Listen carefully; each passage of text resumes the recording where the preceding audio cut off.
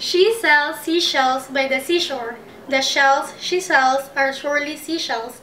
So if she sells shells on the seashore, I'm sure she sells seashore shells.